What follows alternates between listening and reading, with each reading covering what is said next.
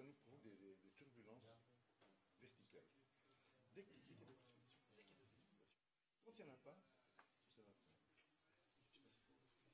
Donc il faut faire attention quand on passe du, du- du- cumulus numéro 2 vers le cumulus numéro 3, qui est le cumulus précipitatio, ça s'appelle comme ça, les turbulences vont pas. Le 3, 4, 5, c'est la vitesse de la goutte d'eau.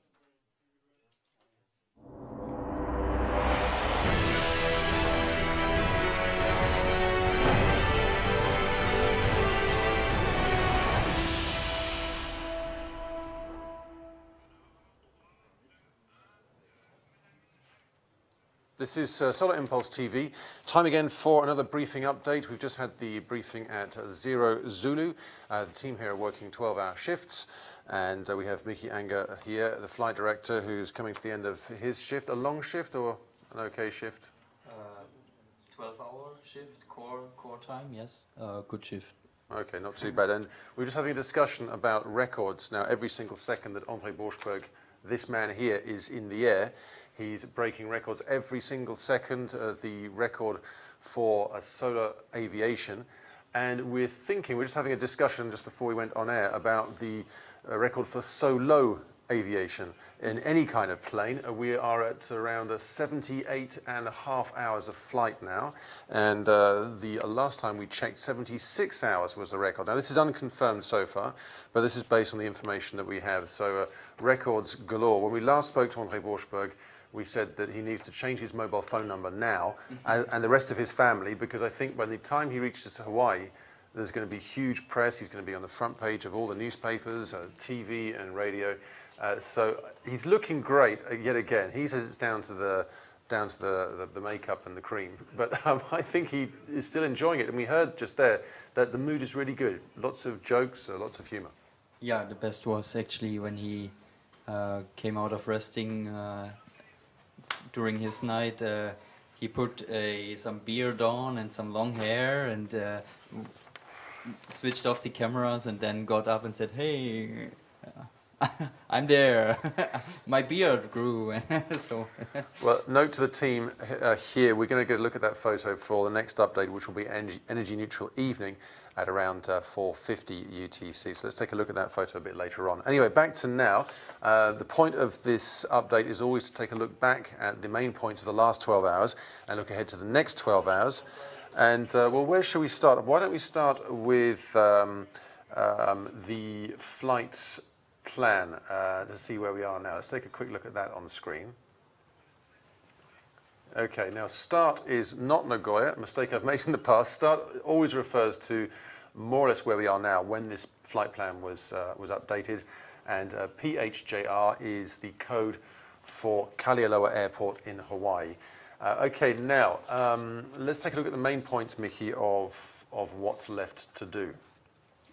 What's left to do? Uh, not the past first? Well, I was going to talk about the past, but then I saw this map, so I've, No, I've it's fine. I suddenly improvised and changed. But we'll, we'll go back in time afterwards. I want to have a look at Plateau after, but let's uh, Okay, take a great. look now. Uh, so what's what's going to happen uh, in future now is that we are actually we are here in climb. So we did here what you see here is this kink here is our U-turn because the sun was shining from that side, and we put the tail into the sun uh, early morning to get most of the energy out of the sun. So that's why we flew this heading, this kink, and then he turned around towards Hawaii again, and he's now basically somewhere here climbing uh, and uh, at 14,000 feet at the moment. Uh, so I think uh, it's good to remind everyone now because sometimes we get messages from people saying, "Are you heading back to Nagoya? The plane's facing in the wrong direction." Now we had Florian who explained very well the difference between holding and U-turns. Exactly, exactly. So, yeah. Do I have to explain it again? That's okay. I can do it if you like. I remember. No, I still can do remember. Just Okay, about. It's a challenge for you now. Okay, well, holding is uh, usually a time when there isn't sun. There's nothing to do with sun. Uh, holding is trying to avoid uh, weather patterns uh, by staying in one position until the weather uh, gets better further ahead. U-turn is, is during a time when we have sun to maximize the amount of sun that hits the solar panels. Sometimes due to the angle of the sun, it's better to be facing the wrong way uh, at that point to make sure we get as much solar energy as possible. Is that good? Not bad, Connor. Really great. Can I join the, can I join the engineering team one You're day in, before the in. end of the flight? You're in. Okay, great. Thank you very much. All right, let's now head back. Let's look at the plateau now. the, uh, we can see the Sol 4 plateau. Now, uh, this is a chance for us to take a, a, look back, I think, as well. Now, what, well, just about actually, because we can't see too much in the background in the Sol 4. Well, let's, stick, let's leave this here for now, because then we can talk about coming up to energy neutral evening. And um, I've made a few notes. And well, why don't you take me through what you think are the main points of the last 12 hours? The last 12 hours uh, were driven by resting, resting, resting to get to a good pilot health. But it was actually not so easy to uh, get good rest for Andre because uh, we've we had difficulties to find a smooth layer of air and it smooth we mean really smooth for our airplane because it's so sensitive and then he could sleep. Um, so actually, he had many periods of, of rest in a row. We 170 minutes in all, apparently. Yeah, even more in terms of uh, resting periods. It was like 300 minutes of resting period. Mm. Uh, but in, in the end, he could only sleep this 170 minutes because he was always disturbed, and we had to wake up him uh, with the wake up button. And uh, because we saw the autopilot was, yeah, managing, but maybe going out of its limits, so we had to wake him up. I know uh, this was a slight concern of Andre, the way in which he was being woken up, the fact that there was a, a rather rude awakening, and there was some concern earlier from him uh, initially that this, this is a fairly stressful awakening. Uh, how has he managed to, has he got used to that now? Well, uh, he says he, he gets used to it because he he knows what to look at uh, when he when he gets woken up. But nevertheless, it's when you hear that sound in the aircraft, you you don't actually know why so the sound, the, the, the, the tone is the same as uh, as you would, uh, for example, bank over or stuff like that. So the situation is always serious for him to wake up and he has to check the attitude of the aircraft, the speed and so on. And then he sees, ah, it's the MCC wake up call due to autopilot maybe on its limit. So that's certainly very stressful. And he said that, that every time he gets his wake up uh, button or call, it's, it's a stressful moment, and it's then it's difficult to get back into a sleeping pattern. Okay, but nevertheless, 170 minutes of what we think we can call a good sleep. Oh yes. Um, right. Let's turn now to uh, planning tool, taking us through the next uh, cycle. Uh, the main point when we come back on air will be energy neutral evening, which is around about here. The calculation given to us was 450 UTC.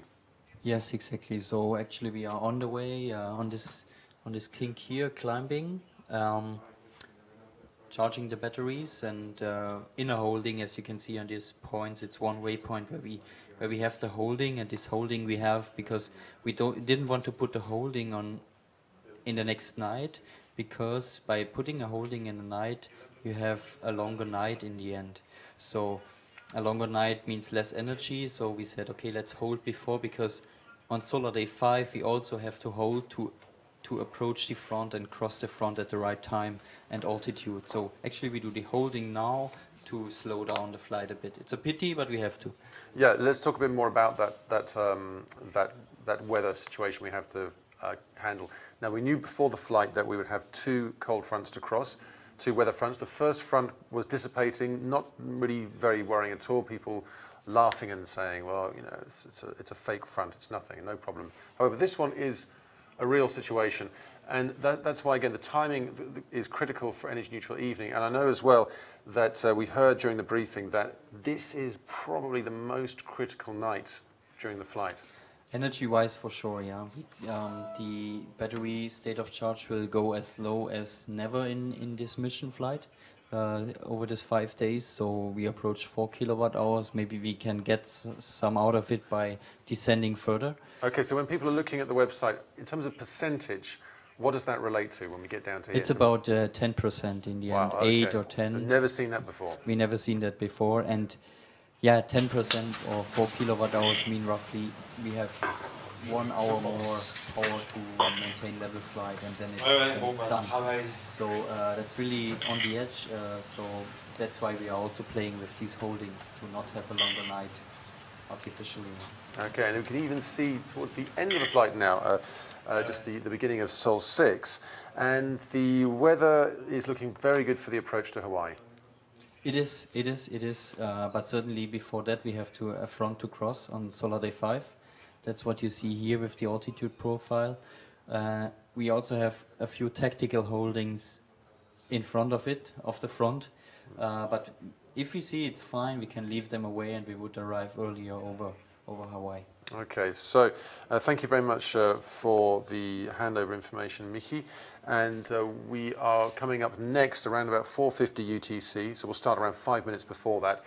Energy neutral evening. Uh, important to really maximize the energy here because we have our most crucial energy neutral morning here around about 1800, just before, around, no, 1800 uh, Zulu uh, for uh, the end of Sol 4. Uh, because it's going to get low, as Mickey said, batteries down to 10%. It's going to be the tensest moment so far there in terms of the battery state of charge. And if all goes well, then we're into the final straight, crossing over that cold front uh, in Sol 5. And then we're on the way, so fingers crossed. Let's just go back to, well, there we can see the man himself looking very good. But let's take a, a look at some of the um, pages on our website that you can look at as well. Uh, first of all, the battery state of charge now so we can see what situation we're in with the batteries charging. Let's take a look at the battery state of charge. It's coming. There we go. Right, so um, we had one more word from Capcom, which was in terms of uh, energy use, we were, we were looking really good. Well, in fact, better than we've been expecting.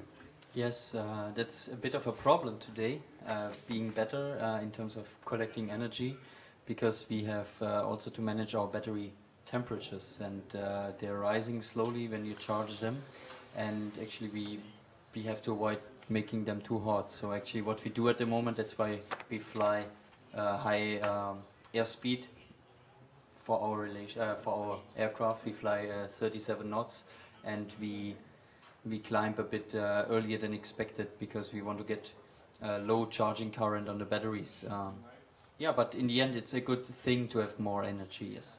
Okay, uh, but an interesting problem. We've had this for quite some time now. This problem about trying to avoid overheating the batteries. And as you're saying, it's an interesting problem to have. Uh, the idea that we want to slow down the rate at which we bring energy into the batteries.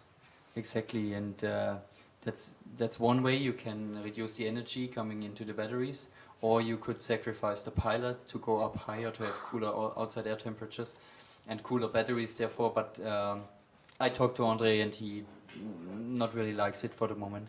Okay, a final word before you go, Michi, and uh, let's just say something nice about the US military because we've said no military activity on arrival. That's what we've heard. Thank you for not doing anything uh, and, or firing off any missiles as we arrive to Hawaii. That's really helpful. That's really helpful, and we can fly straight in, I hope. All right, thank you very much, Michi, uh, for talking to us. And uh, we will have a new update, energy neutral evening, 450 UTC. I can't believe we've got this far. Uh, it's, it's, incredible how the time is flying.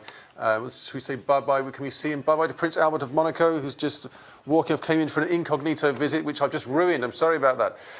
and uh, we'll speak to uh, we'll speak to Prince Albert of Monaco later on as well. Uh, he's been coming in regularly during this flight, and I think we can guarantee he'll be here uh, once we arrive in Hawaii. Thanks for watching, and we will see you 4:50 UTC, the next energy neutral evening.